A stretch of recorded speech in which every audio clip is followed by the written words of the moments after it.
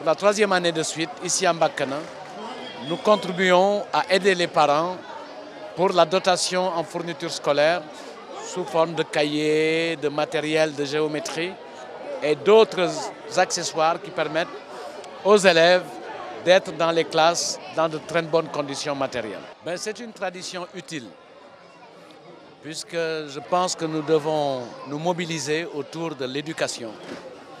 Puisque c'est ça qui permet à la jeunesse de regarder l'avenir en toute confiance.